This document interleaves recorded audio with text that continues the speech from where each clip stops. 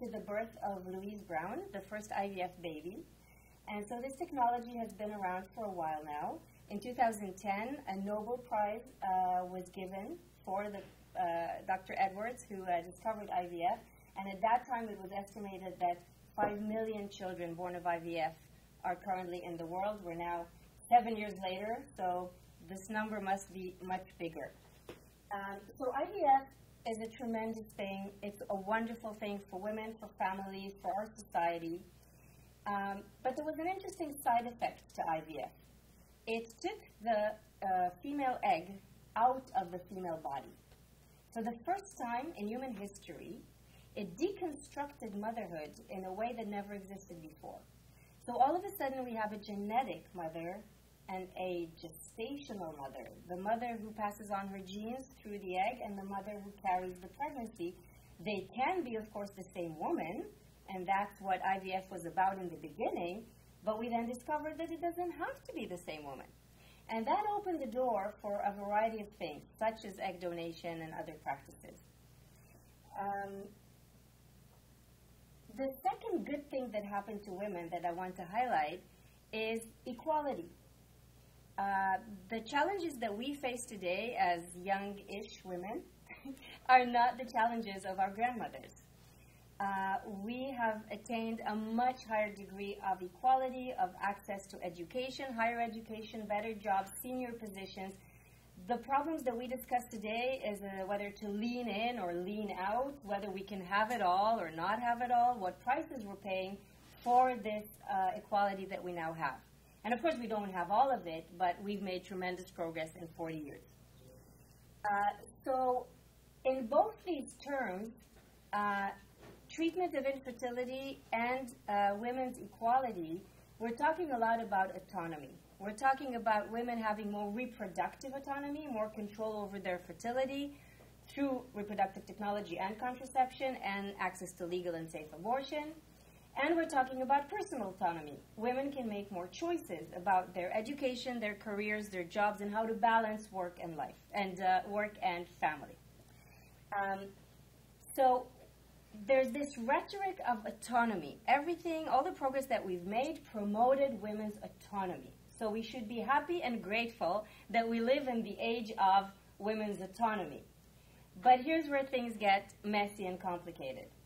The place where this progress and equality meet reproduction, it puts women in a tough spot. Because the greater equality that we have in education and in the workplace caused us as a society to delay motherhood. So we're talking about a phenomenon called advanced maternal age or delayed motherhood. Uh, the group of mothers that's growing the fastest today is first-time mothers in their 40s. The average, uh, uh, average age of a woman having her first baby has moved tremendously in all Western societies. But our bodies are not obeying. We want to wait because of the social circumstances, but our eggs are beginning to deteriorate very fast. And this is where we come to expectations. And I want to put a controversial claim on the table and explain why I invited these four uh, magnificent women. The claim is that we're taking a social phenomenon, that of women's equality and opportunities, and that of reproductive technologies as socially acceptable, and by combining these two, we're taking a social issue and dumping it on the shoulders of individual women. So the problem is structural, the problem is societal. Women are pushed to delay motherhood until an age where they have more difficulty with their fertility, but then society tells them, your problem. Go get IVF, go get uh, donated eggs, or be smart and freeze your own eggs when you're in your 20s. But all these things cost women. They cost them money, they cost them health risks, they cost them psychological burdens. They're not easy solutions. So the problem around which I would like all of us to dance tonight is this issue of taking a societal phenomenon and making it into women's individual problem. And we have a variety of perspectives on this issue tonight. We have two uh, leading researchers in the area of egg donation and egg freezing uh, that bring ethics and sociology and uh, law into uh, this issue. And we have uh, two journalists, producers, lawyer, uh, who will share lived experience as users of the technology and the experience of producing a documentary uh, on this topic. I don't want to spend a lot of time introducing them because I believe people do a great job introducing themselves, but I'll just uh, describe the structure of the evening. We're going to hear from Katie, uh, who is from McGill University with a background from England. See, I'm going to keep it really high level. We're going to hear from Angel, who's uh, from Dalhousie University, currently working uh, with the Canadian Fertility and Andrology Society. We actually have a project writing guidelines on advanced maternal age for this clinical society. And we're going to hear from Lori, who produced, uh, co-produced, produced the documentary uh, on infertility with an emphasis on egg freezing. Uh, so we'll start with Katie. All right, so I'm going to be talking tonight about um, research that I conducted while I was doing my PhD. Um, and so that was with egg donors, it was with fertility specialists, and it was also with intending parents in Canada. Um, and what I'm going to focus on tonight is the idea of reproductive bargaining and how that takes place um, for women who are choosing to donate their eggs. But just to start off, um, to give a little bit of an introduction since I'm the first person on the panel. Um, so, what is infertility? So, the World Health Organization describes it as the inability of a sexually active non contracepting couple to achieve pregnancy in one year. Um, and it affects 15% or more of reproductive age couples worldwide. And though we think of infertility as often being something that affects women more than men, um, actually, um, usually it's about 30% male factor infertility, 30% female factor infertility, and 20% both partners, and then we have 20% of cases where it's unknown. So what is egg donation? So I think the other panelists are going to talk a little bit more about egg freezing and the specifics of that, but just to give you an idea of the technology and the process. Um, so the way that it occurs is that fertility drugs are used um, to synchronize a woman's menstrual cycle with the recipient, um, although when there's egg freezing, you're not, you, there's no need to do this with the recipient. Um, and basically what you're trying to do is you're trying to stimulate your ovaries to produce multiple eggs. Um, so then eggs are extracted um, and they can be fertilized using IVF or they can be frozen for later use. So usually the process takes about 10 to 26 days um, and then afterwards it's about three or five days until there's an embryo transfer. So to give you an idea of kind of the risks that are involved, um, so for a donor, there can be allergic reactions to ovarian hyperstimulation. Um, there's OHSS, so this happens in about 1 to 10% of cases, and the symptoms of this can be quite severe. Um, nausea, bloating, bleeding, and infection, and possible risks to future fertility. Um, and there's also psychological risks, so depression and regret. Um, in terms of the long term risks, at this moment, we actually don't really have a lot of long term data or really any long term data, so I can't really speak to that. Um, for intending mother, so this is the, the recipient of the egg, um, there's no significant risks relating to the embryo transfer, but there are physical and psychological risks if more than one embryo is transferred, and of course, there's psychological risks associated with the process. So, for instance, the emotional roller coaster of um, many repeated and sometimes unsuccessful cycles, and then the financial stress that's involved.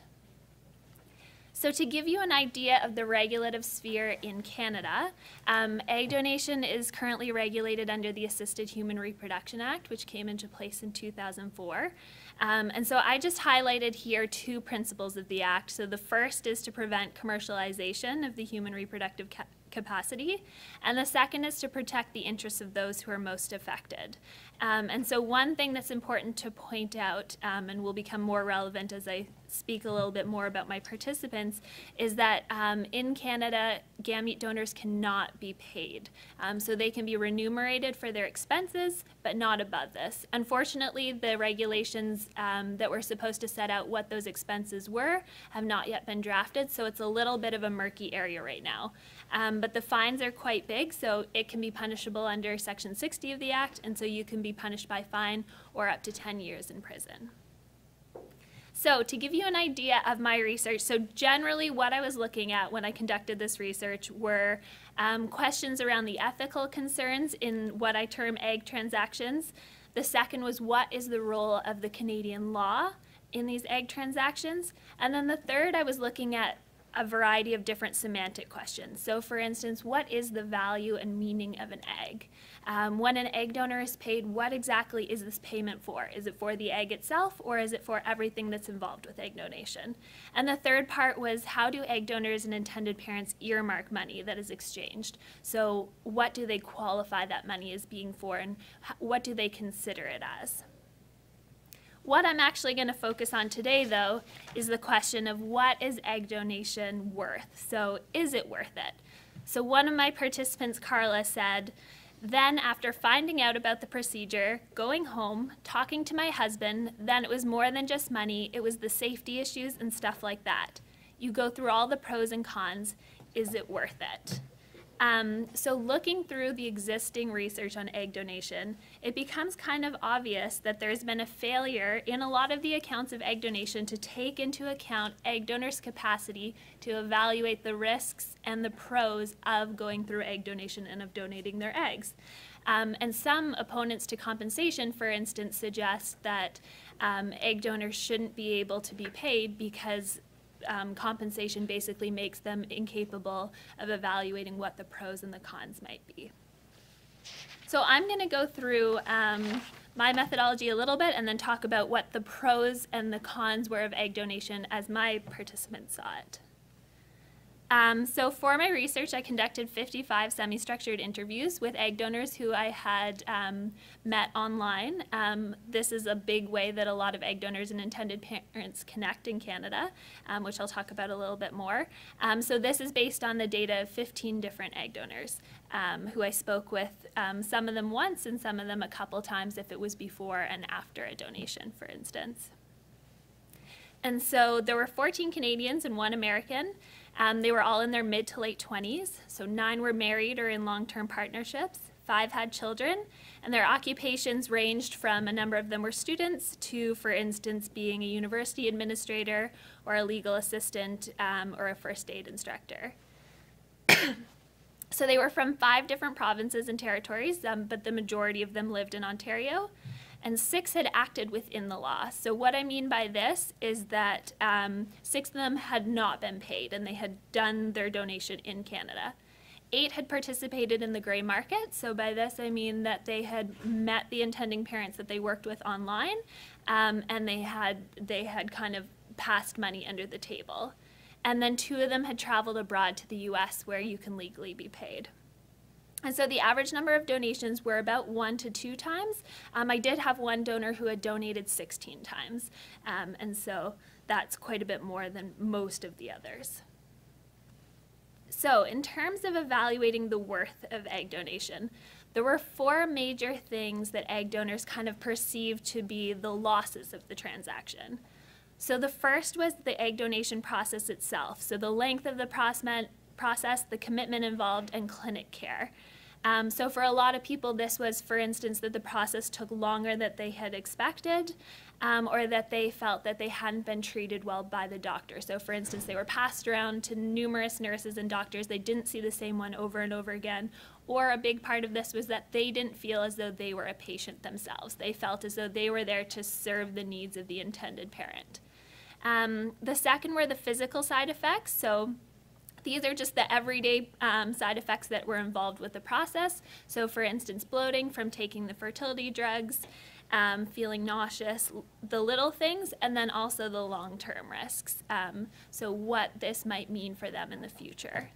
The third were the emotional risks. So, by this, I mean the connection, for instance, of considering that you have donated your genetic material, and if a child is born, um, there is potential for an emotional risk there.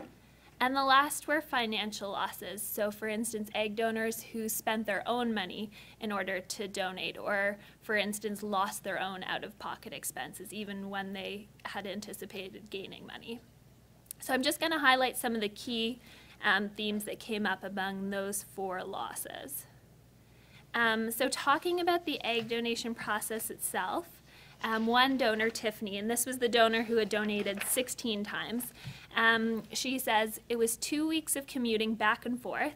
I would sometimes leave um, 4:30 in the morning to get there for cycle monitoring for the ultrasound, the blood work, and then be back at work at 9. Sometimes I would have to do that, like sometimes that last week, I'm doing that three or four times a week. So that was hard. That was really hard, but that's what I did. And so something that came up a lot among the egg donors was that the process took a lot longer than they had anticipated and involved a lot more than they had anticipated. So sometimes, even though I said at the beginning that it's up to 26 days, some donors, for instance, felt that by the time they had recovered from taking the hormone stimulation, it had felt like the process had been three months. Or if you include the process of going through the screening before you can donate, this felt as though the process had been quite long. So, speaking about the physical side effects and the long term risks, in terms of the everyday side effects, um, Adrian's quote that says it was uncomfortable but manageable, I think very much sums up a common theme that was among all of the donors who I spoke with. So there was a feeling, for instance, of getting past the psychological hurdle of having to give themselves the hormone injections, but once they got past that, it didn't feel like such a big deal. Um, one of the more prevalent aspects that came up in talking about the long term risks is the idea about the unknowns. So, Catherine says basically, the answer is that there are no long term studies for people who have normal fertility that have been exposed to fertility drugs, right? So, it's an unknown. I certainly don't have any known genetic predispositions to uterine or ovarian cancers, but that doesn't mean that I'm not increasing my risk. So, yeah, I don't really know that going in, and it certainly is a risk that I'm taking. So, this idea of not knowing what might be involved was part of what made this a more scary aspect. And perhaps if the risks were something that we knew a little bit more about, that might not have made it such a scary thing. So, the third aspect, and this was a really important one for a lot of the donors, was the idea of the emotional risks. So, Brooke said, so now this is totally honest, obviously. When I first went into this, I said to myself, I hope I can do this. I hope I can make eggs, but I hope the girl doesn't get pregnant. It was a really crazy, selfish thing to say, but I was afraid. I was afraid that this girl was going to get pregnant, and I would constantly think about having this random child out there who's basically my child, and I wouldn't know anything about it. So again, there is kind of what Brooke is showing here is a bit of a symbolism of this genetic connection. And a lot of the egg donors who I spoke with really emphasized the fact that they were not mothers. They were not the person who was gestating the child. They didn't want the child, um, and they didn't envision themselves in that role. But there was something symbolic about the genetic component to this. So, turning now to what they perceived to be the gains of the transaction, there were four major gains. So, the first was compensation and travel. So, the ability to travel by, for instance, going to meet the intended parents in another province, and so uh, legitimately having the intended parents pay for those travel expenses, or travel in terms of um, making money from donation and then having the ability to travel with that money. The second was egg donors' ability to pass on their genes through donation. So a number of the donors knew that they didn't want to have kids of their own, but they did feel this sense. Um, one one woman called it this kind of Darwinian need um, to pass on their genes and feel as though they had participated in that kind of life cycle. And so for them, this was a way to do it without actually having children of their own. The third was helping gratitude and knowing the outcome of the donation. So, knowing, for instance, that they, the intended parents had successfully had a child. And the fourth was just developing a relationship with the intended parents. So often these are people who, when they connect, they form a friendship. And so that can be a nice thing that, that happens as a result of this.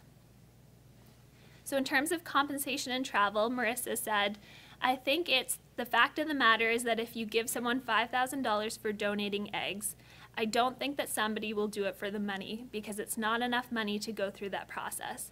And this was something that a lot of egg donors reiterated. All of them unanimously in the study felt that they should be paid and felt that there should be payment in Canada. That being said, a lot of them felt that payment enough was not adequate in order to convince them to donate their eggs. They did, however, speak of payment as something that that helped with the gratitude aspect of egg donation and also that helped to kind of equate the pros and cons of egg donation. So the second was helping gratitude and knowing the outcome of the donation. So Brooke, who previously I quoted, who was nervous about the intended parents getting pregnant at all, says, I got paid for it, but I have none of that money and I have a potential child out there. So is it really worth it? I helped someone achieve the goal of being a parent. Absolutely, it was worth it. Tiffany says, I like to know they were successful and have their kids and have their family, they got what they wanted. So just to kind of review some of the main the main pieces that come out of this. So egg donors really in this case were economic actors. They are thoughtfully thinking about the pros and the cons and they were weighing them in terms of what they felt was the best choice for them. Um, so the notable losses were, of course, the unexpected commitment of egg donation, the unknown aspect of the physical risks, and the emotional risks, and that symbolism of the genetic link. Um, in terms of the notable gains, again, money helps to equate the transaction, but compensation alone was not enough to convince someone to donate. And the ability to help, um, this seemed like a small endeavor in comparison to the possible outcomes. So this ability to help comes with symbolic returns. So for instance, that feeling good or gratitude was a very significant aspect. So just to sum up, um, many of the donors had donated um, years before, and so I think with a little retrospection, sometimes we always have a better feeling of, of how um, we enjoyed a process or what our overall perception was of a process. So for those donors who had donated some time before, in thinking about was it worth it, um, many of them said that it was worth it. Um, there was a common theme of people saying that there were no regrets. Perhaps it wasn't something they would want to do again, but no regrets. Although surprisingly, most of the donors were willing to donate again. And this was surprising given the fact that some of the donors who had had um, major side effects and who had really not enjoyed the experience still were willing to do it. And this has been a finding of other people who have conducted research on egg donors and is constantly found to be surprising because if you think about this from like a rational calculus perspective, you would think that people who weigh the pros and cons would not ultimately decide to do this again.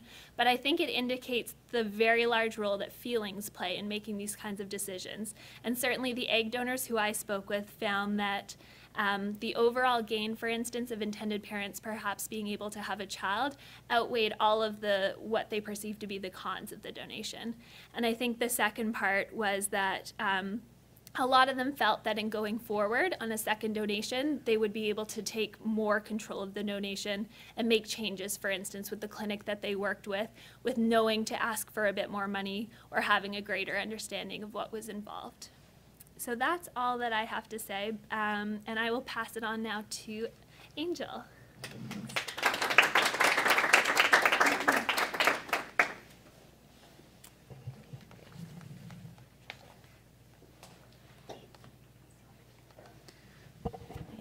Down a bit. Good angle is that? There we go. Is that good? All right.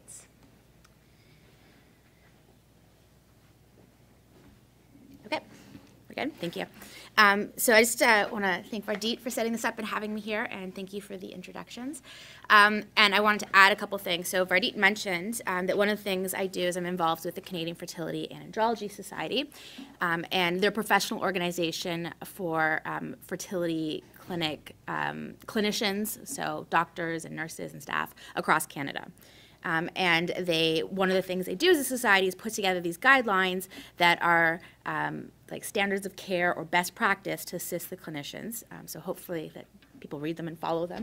Uh, so we are, Vardit and I will be working on one um, on advanced parental age and assisted reproduction. Um, I also wanted to mention two more that might be of interest. So one that was completed last year um, is on third-party reproduction. So that uh, takes into consideration um, some of the work that Katie's been doing around egg donors. So they're part of that guideline. And there's also one that we're working on right now on social egg freezing. Um, so that's in the works as well. So egg freezing is what I'm going to be talking about, and um, I'm going to sort of build on the um, explanation that Katie gave about the process of egg donation, because they sort of are uh, similar in some respects, um, because egg freezing uh, is a way to sort of self-donate, right, when you're doing it for um, social reasons or medical reasons. I'm going to explain the differences between the two, and um, the goal really for this talk is to um, get us thinking about sort of three things. Um, so in the background, I'd like us thinking about sort of where fertility uh, fits into um, our health and our well-being, right? So how important is fertility? And in thinking about how important fertility is for both um, uh, men and women, for all persons, how important is it to preserve somebody's fertility, right? To preserve the option of being able to have genetically related children in the future. Um, the second piece is around this notion of reproductive choice, and this sort of alludes to what Vardit said at the beginning around um, this sort of relatively recent phenomenon where things that we understand as a social problem because of the way society is structured, because of certain constraints, um, end up really uh, putting pressure on individual women, right? So that it feels like it's their problem, it feels like they have to find a solution to it, and in some ways, assisted reproductive technologies in general, egg freezing in particular, is sort of framed as the answer to that problem, and sort of thinking about, you know, is that picture problematic in itself? And um, I'm going to put those two on the table, and hopefully we can get back to them in discussion. And what I'm going to do now is uh, lay out sort of the ethical, legal, and social considerations around egg freezing. Okay.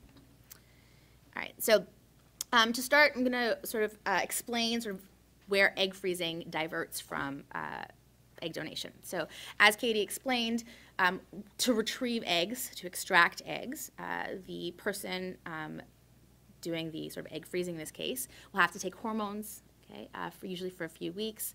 Um, the eggs are extracted surgically, and then with egg freezing, um, they get frozen and stored. Okay, so that's sort of that piece, like stage one of fertility preservation. Right? Stage two happens if and when um, in the future that person decides to come back to use their stored reproductive material, to use their eggs. Okay? And if they want to use them, um, what they have to do is have those eggs thawed and then they get matured, or sorry, fertilized in a petri dish. Okay?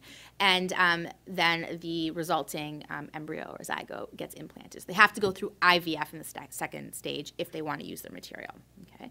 And I point this out because um, it's important to think about that some people might only just do the first stage and they never do the second stage. Okay? And if they decide to use them in the future, then there's sort of there's this sort of all these medical considerations and additional risks and additional costs around it. Okay. Now, there are, generally speaking, two kinds of reasons that somebody might want to freeze their eggs. Um, and it could be to guard against disease-related infertility, okay? And often you'll hear this called medical egg freezing. Okay? Examples of this are people that have cancer. So if someone gets diagnosed with cancer and the fertility is at risk, um, they can opt to freeze their eggs. And they do the same process.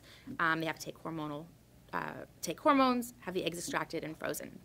Um, there are other medical uh, conditions that also put people's fertility at risk, so they might choose to freeze their eggs in that case. Um, there are intersex conditions. There are people who are transgender and um, undergoing part of their gender affirming surgery, and part of that surgery puts their reproductive um, uh, materials at risk, so puts their ovaries at risk, for example, and they might choose egg freezing. Okay, so that's on the one side. The other side is what typically gets referred to as social egg freezing. Okay, and um, we're going to be calling it today egg freezing to guard against age-related infertility. Okay? Um, and this can include sort of anybody else that might want to do it. Okay? In the news, we hear a lot about sort of the young professional woman. So we think about Apple and Facebook, where they've made egg freezing as part of their benefits package. So that might be the kind of person who chooses to freeze their eggs. Um, it might be students, uh, somebody going to grad school, law school, um, having this really long academic career ahead of them, and not seeing family as being a possibility in the near future. Um, it's single people. Right, who don't have a partner yet and they aren't ready or prepared or don't want to go on this journey of parenthood alone. Um, and there are also cases of thinking of uh, jobs that might put your fertility at risk, okay? like people who are in the military, for example. And um, the U.S. military just started offering, I think recently, to freeze women's eggs as part of sort of um, part of their service. That was an option to them before deployment. Okay, so we've got sort of this range of people. Um, now, to give you an idea of sort of who's doing the egg freezing, um, the most recent stats I've seen, I think, were from 2013. 2014, and about, I think, 66% of egg freezing cycles were for these social reasons. Okay, so to guard against age-related infertility. Um, about 18% were for cancer, okay, and the other, going to do the math, I have 33 here, um, was for other diseases. Okay, so just to give you an idea, and that stat is a little bit dated, I think, now. And if I had to guess, my guess would be that the um, social egg freezing um, has sort of skyrocketed from, what I've heard from some clinics, particularly in the US, where they do some really aggressive marketing. Okay. All right. Um, so we're going to focus just on this social egg freezing or age, uh, egg freezing to guard against age-related infertility. So one study that looked at the reasons for why uh, uh, women who choose to freeze their eggs do so um, found this. I don't know if you guys can see that okay. So the biggest reason, um, 88%, it's a lack of a partner. Okay, so the kind of rhetoric we hear in the media is, you know, these career-driven women that don't want to settle down and don't want to have kids, right? And they're trying to have it all. You know, it turns out most of the women that are choosing to do this are doing so because they don't have someone to have um, children with. Okay, um, there are sort of professional reasons um, and academic reasons. So that would, you know, people that are still in school um, or pursuing a career, and then there are financial reasons having kids is really expensive. Um, the cost of living is going up, and I know sort of a lot of people in their 20s and 30s that can't imagine having to be responsible for another human being when they can barely afford, you know, their own lives. Okay? And then um, there's sort of this too big of a commitment, so people that just aren't quite ready yet, um, I guess emotionally or personally, and then sort of other this other category. Okay? This is important because the majority of people that are choosing to freeze their eggs are saying that they're doing so because they don't have a partner yet.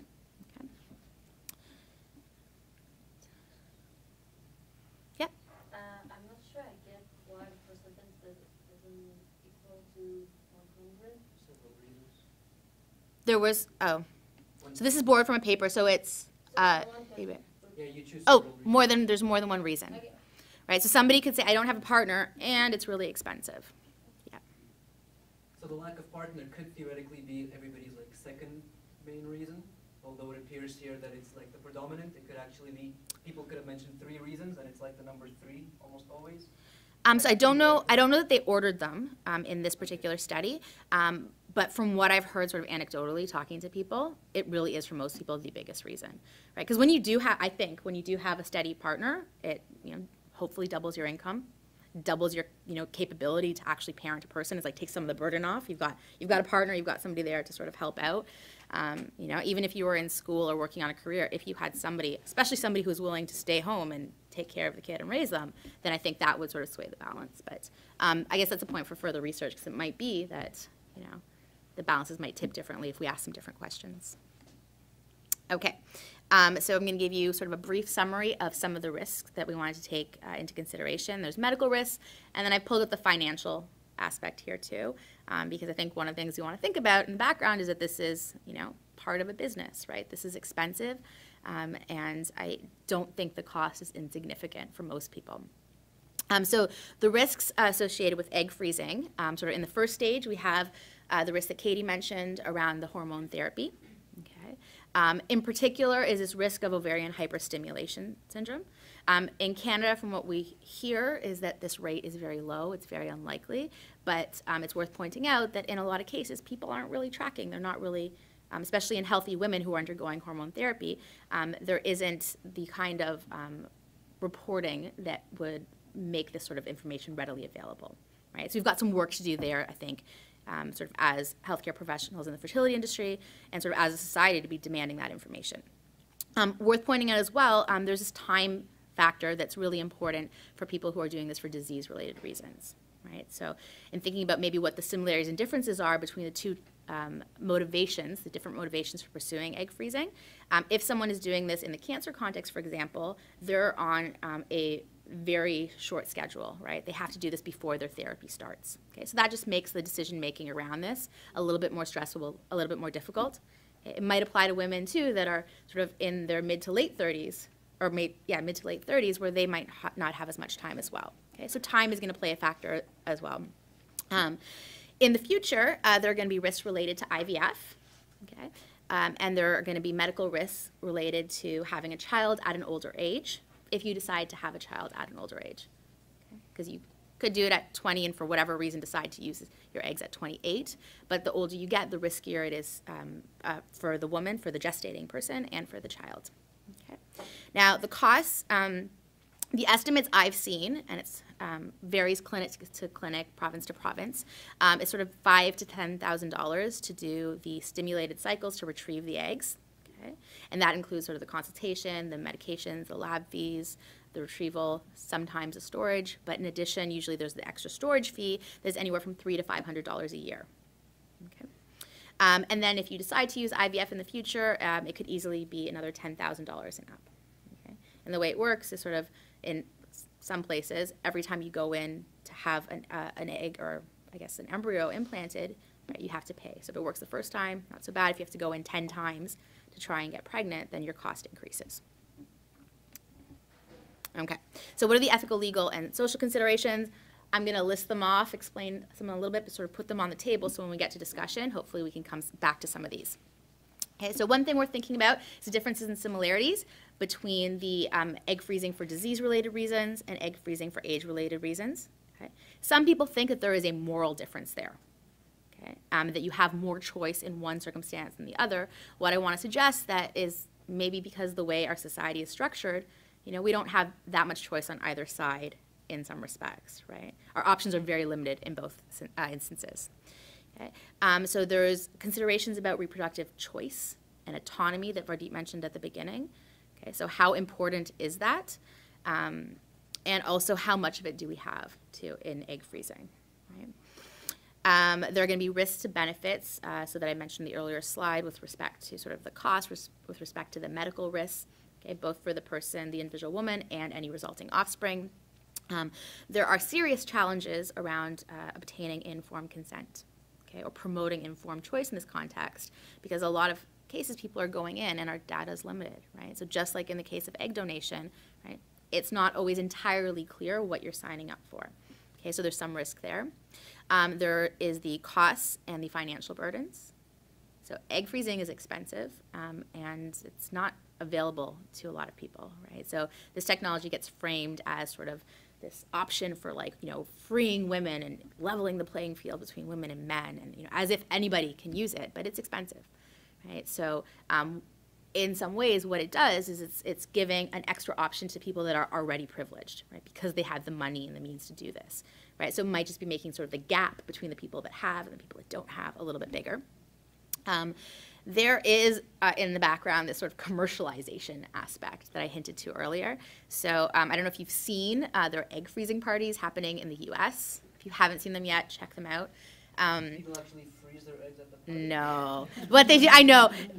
If they could do that, I bet they would. If they had a room in the back, um, what they do is uh, fertility clinics or agencies invite women, a particular kind of woman. So the like they go to New York and invite people that are you know um, professionals and trendy and you know in this sort of certain age range and they invite them in and um, in some cases they're partners and they give them alcohol and food and they say let me tell you all about egg freezing um, they do. And you get a discount in some of them. So if you sign up and you sign up a friend you know they give you a deal. Um, so just, they're adding this incentive to freeze your eggs and they're making it very attractive and they're doing this while you're drinking. So um, i find it interesting. Okay. To say the least. All right they, adver- they advertise on dating sites right? They should. I don't know if they do. That you know what? I wouldn't be surprised if you went on a dating site and an ad for egg freezing popped up. Um, especially if you Google it, like all these things are connected, right? It's like the internet's watching you, and they'll they'll figure it out. You put in your age, and then egg freezing comes up. Um, okay, so the other things are sort of the pressures to freeze. Um, so I don't know. I feel like if my company would paying me or allow paying for me to do something, you know, that's some incentive. It's some serious incentive. I like free things, right? Even if I don't need it, I'm like, well, I could do this. So there might be a little bit of pressure there. There might be employers that are saying, you should do this. You know, we need you, right? Don't have kids yet. Um, there's pressure from family and friends and peers. Um, I know, I would guess that most of the women in this room at least have been asked, do you have kids? When are you having kids? What are you waiting for? And that's a pretty common, you know, question to get asked as a woman. Okay. Um, there is the value of genetically related children right? So we're saying this is the only way to have a kid, but actually, you know, you could use an egg donor. Um, you could adopt, right? So if you want to raise a kid, it's really the social parenting, right, that you're going to end up with. But how important is that genetic link? Something to think about. Um, there are going to be uh, sort of legal issues around the disposition, right? So if a lot of people freeze eggs and never go back for them, what do we do with them, right? What should we do with them? Um, there are storage limits, like how long should we keep the eggs indefinitely? Um, I don't know. Uh, the UK tried to impose a limit, and then they added all these exceptions, and it's now sort of been contested, right? Um, and then when you do allow people for, to delay or to store eggs for a long period of time, then you might get people coming back when they're 40, 45, 50, 55. I don't know, right? The oldest woman, women um, to uh, undergo IVF were in their 70s in India, right? So one of the things we need to think about is sort of what kind of um, or how advanced um, parental age this uh, promotes, right? So how far is this going to push the reproductive envelope? Sorry, the, the ones you're talking about in India, they're not the intended social mothers, right? They were Yeah. grandmothers, or at least N- one. Nope, they were they were raising the children, yeah. But they didn't use their own Yeah. eggs. Yeah. They used donor eggs. But- they yeah. had their own children. So, but if I froze my eggs now and waited like 35 years, and like, you know, that could be me, right? okay. Um, and, uh, and, you know, technology will be really good then, right? So I won't have to worry. I'll be, you know, a very healthy 70 or 75 year old. We'll live forever. Exactly. Um, and uh, so a couple other things. There's delayed parenthood we need to think about. Um, and there's this, in the background, there's this trend of, you know, having kids later. And that changes things. It changes the gaps between generations, right? That increases public health care costs if there are increased risks. So we have some sort of population considerations we need to think about. And then there's public health considerations as well. Um, and then finally, there's the point that uh, Vardit mentioned at the beginning. You know, so we've got this medicalization, right, for a social problem. We're taking something that's social and sort of, you know, dumping it onto the individual. Okay, so thank you. Um, um, I'm also going to leave this slide up um, just to sort of highlight um, Impact Ethics blog, uh, which I manage at Dalhousie. I know we've got lots on there about egg freezing okay, and assisted reproduction if you're interested. So if you check out the blog, um, there are some really great short articles um, on these topics, and you can follow up on. The final assignment of the reproductive ethics seminar who's in the class is to write a piece for you. That's great. That's Uh, awesome. we also love submissions, so. to uh, uh, Lori, I just want to point out that we published a paper uh, that we titled Sleepwalking into Infertility. Uh, and the title comes from a quote from a woman in a media article that said precisely this I was unaware, I was uninformed, and one day I woke up and found myself. Uh, so I just want to support what you said from a very personal perspective with research data that shows that very educated women know very little about fertility and fertility decline, what ages this happens, what are the chances of success with uh, spontaneous conception and IVF in the various, various age groups. Women are not informed, even those who are very well informed in other areas of their lives. So this is again, we talked about a systemic societal issue. Uh, we don't talk about it in high school. We don't talk about it. Uh, family physicians don't talk about it with their young female patients. There are so many points at which we could tackle this issue, and we don't. So we need to do some serious soul searching as a society, and that's exactly what this forum is about. Okay. Um, thank you so Thank you, much, thank you. um, Lori. Oh, sorry. Hi, everybody. It's nice meeting everybody here. So, uh, yes, I uh, produced the film with uh, Erin. Um, it's called In Vitro, Our New Fertility Frontier. So, uh, basically, we set off on this journey of of understanding sort of what was happening in terms of fertility, especially amongst the friends that um that I have. Um, quite a few of them were undergoing IVF or considering IVF. It just it seems to be sort of occurring in within the age group that I'm in. And at the same time, there was uh, Gaetan Barrette, uh, who was deciding to change IVF policy. And uh, in late 2014, all of a sudden, they completely decided to remove the, the freely funded IVF in Quebec. So it was extremely difficult for some of my friends who were sort of partway through the process. And then all of a sudden, they realized maybe I'm just not going to have uh, babies. Maybe because this whole policy has changed, changed um, everything's going to change for me. So it caused a great deal of stress and strife um, amongst a lot of the people um, that I knew that were going through this. Um, so as we explored the issue, one of and we were were starting to set about finding people to be in the documentary, and finding uh, participants. Um, it was incredibly difficult. Not a lot of people wanted to talk about this publicly. Um, it was, as Erin knows, like she helped research this. Um, we had so many people who we started having conversations with who were like, we want to hear your stories, we want to hear what's happening with you, and they would just drop like flies. People were extremely embarrassed to talk about this. They felt like it was a personal failing that they couldn't have a baby. It was incredibly intimate um, to them, and I was kind of surprised. I thought, oh, you know, people would want to sort of discuss this issue. People would be interested in, you know, letting uh, people know what they were going through, sharing their stories. But no, it was very, there was definitely a wall that occurred as we were trying to find subjects to participate. And oftentimes we would start uh, like even researching or filming somebody and then uh, halfway through they'd be like, you know what, I just don't want to talk about this subject with uh, the greater community. I'm, this is like, it's just too much for me and my husband and and whatever else. So I, it, it just struck me what an incredibly uh, taboo subject this still is at this point. I kind of thought that maybe we had gotten over it to a certain extent, but in fact, uh, infertility is just, people just felt like it was their, um, their fault that they were infertile or that they had somehow committed a crime against society or it was just, it was a bit over the top. I was very surprised at people's uh, reaction that they, they weren't able to give birth. It seemed like a very big deal to a lot of people. Um, and then also, as we got into the documentary, one of the really interesting questions that uh, I wanted to discuss was uh, social versus medical infertility.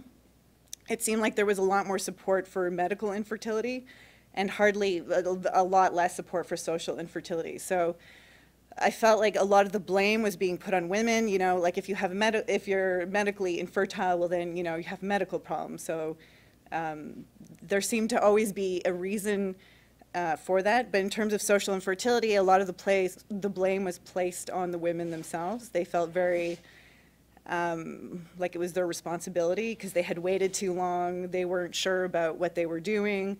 They they felt like they had they had messed up because they had waited to be uh, 39 before they uh, really started focusing on the fact that they wanted to have um, children.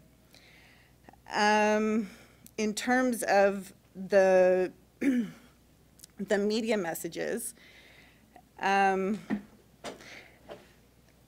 I think in terms of like the role that uh, media plays in informing everybody, uh, one of the things that I came across too is that e even for myself and I think for Aaron, um, we we were walking through this very uninformed. Even though we, I think when you're younger, you feel very immortal. You feel like you have all the time in the world. You think, oh, whatever. You just like for, fertility really does not play a huge part when you're in your early 30s. You really set it aside. You don't seem to care very much. There's just so many other things that are so uh, much more important at that period of your life. It, I certainly didn't think about it at all.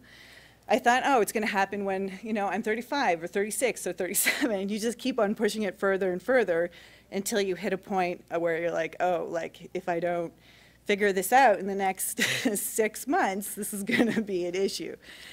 Um, and I feel that, you know, it's, it, there's strange things happening because we have all this freedom now. So we really have to figure out what our priorities are. And nobody's really discussing this. Nobody's really sort of talking about uh, how important this is and how you really should not wait for such a long time because technology is sort of not at the point where it can just sort of give us everything we want. We kind of think it can, but um, the reality is that it can't.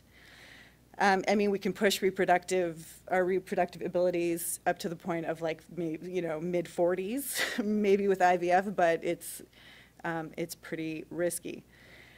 Um, I think the media sort of plays into the narrative of sort of developing this reproductive utopia, where you can pretty much. I mean, it depends sort of what side of the media you're looking at um, in terms of ads, in terms of Hollywood, in terms of mainstream messaging, there's, a, uh, there's really a developed notion of this reproductive utopia.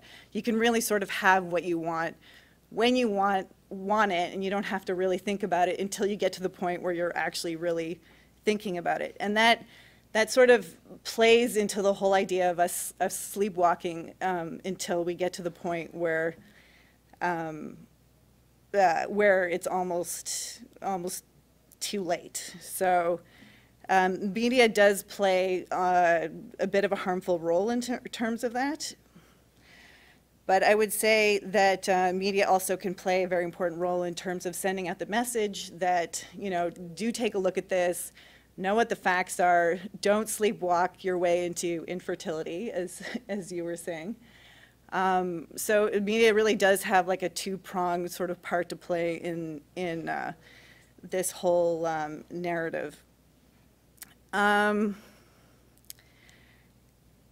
and um, you know, when I was making this this film um, with Aaron, I just what struck me was um, sort of like, you know, the fact that the subject is really at a crossroads of. Um, it's at the cr- crossroads of basically uh, society, dreams, and our, our dreams and hopes, our fears. So it's such a very uh, intimate, very scary thing for people and uh, and it, I think we should sort of discuss it more. And with this documentary with Aaron, that's sort of we were trying to bring up all of these topics. So that's it. in brief.